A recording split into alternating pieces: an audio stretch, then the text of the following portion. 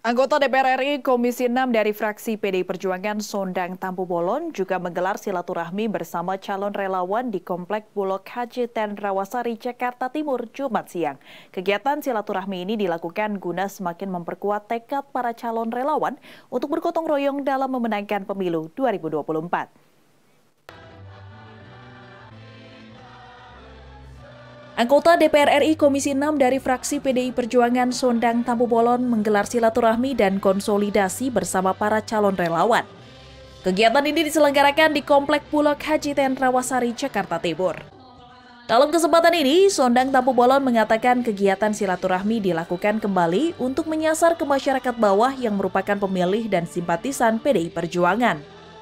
Ia juga menambahkan silaturahmi ini dilakukan sebagai upaya memastikan kemenangan PDI Perjuangan di pemilu sebanyak tiga kali atau hat-trick, memenangkan Ganjar Pranowo sebagai calon presiden di pemilu presiden 2024. Hmm, hari ini saya kembali melakukan konsolidasi terhadap relawan-relawan eh, PDI Perjuangan dan juga Sondan Tabu Bolon.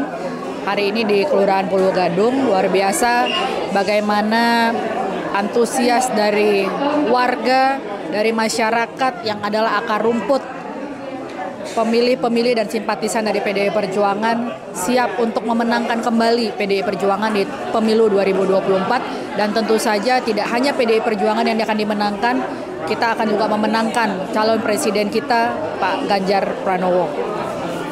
Ibu, juga menyampaikan tentang keluarga untuk menjadi juru itu seperti apa? Ya, jadi memang di dalam politik itu kan mengenai persepsi. Persepsi yang dibangun melalui komunikasi-komunikasi, baik itu komunikasi kepada masyarakat, komunikasi publik.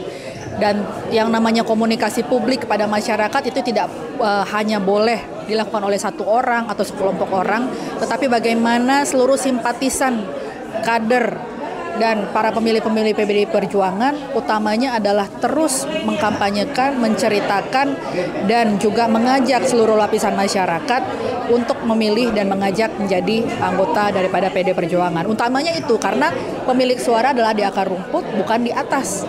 Ya kita biarkan saja elit-elit politik berkomunikasi di media dan lain sebagainya, tetapi Ibu Ketua Umum Megawati Soekarno Putri selalu menekankan kepada kami kader-kadernya untuk bagaimana terus berkomunikasi dengan rakyat uh, yang adalah pemilik suara di akar rumput untuk menyerap apa yang menjadi kebutuhan mereka dan juga merealisasi, merealisasikannya karena politik adalah sejatinya membangun peradaban, peradaban yang baik, peradaban yang sejahtera. Relawan PDI Perjuangan di Jakarta Timur, Tri Pamularai, mengatakan siap memenangkan PDI Perjuangan Ganjar Pranowo sebagai presiden dan Sondang Tambobolon sebagai anggota DPR RI. Ya karena saya melihat Bu Sondang itu sangat disukai ya sama uh, ibu-ibu wilayah Jakarta Timur.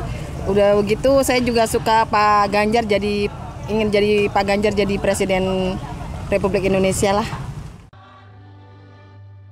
Senada dengan Tri, salah satu relawan PDI Perjuangan lainnya bernama Putri mengatakan sangat kagum dan takjub dengan Sondang Tabu Bolon lantaran amanah dalam menjalankan tugasnya sebagai anggota DPR RI.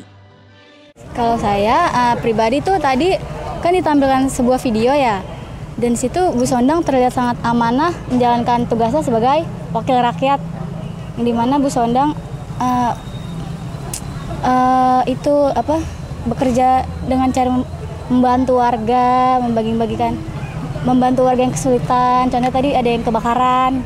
Tuh.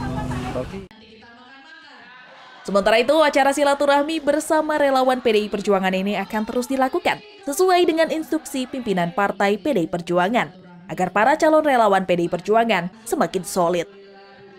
Dari Jakarta, Adrianto, Nusantara TV melaporkan.